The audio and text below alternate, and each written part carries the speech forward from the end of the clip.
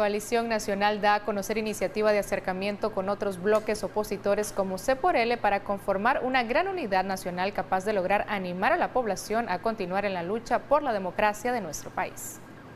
Coalición Nacional da a conocer la iniciativa de llevar a cabo acercamientos con otras agrupaciones políticas para animar de una vez a la construcción de una gran unidad.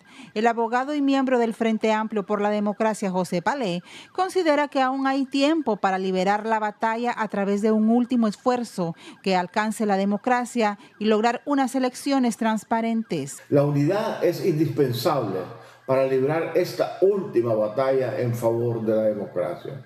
Todavía hay tiempo de lograrla y es en esta circunstancia cada vez más necesaria. Por eso hemos dirigido una comunicación a Ciudadanos por la Libertad, alentándolos a un último esfuerzo, a no pensar en lo que no se logró, la alianza electoral, sino que a dedicar todas las energías para que podamos juntos garantizar verdaderas elecciones en Nicaragua. La coalición nacional ha propuesto a Ciudadanos por la Libertad las siguientes bases mínimas de esa gran unidad está en la disposición de apoyar las candidaturas a presidente y vicepresidente que llévese por él siempre y cuando éstas resulten de un proceso democrático en el que todos los aspirantes estén incluidos. Este proceso deberá permitir la selección del candidato o candidata con el mayor respaldo popular.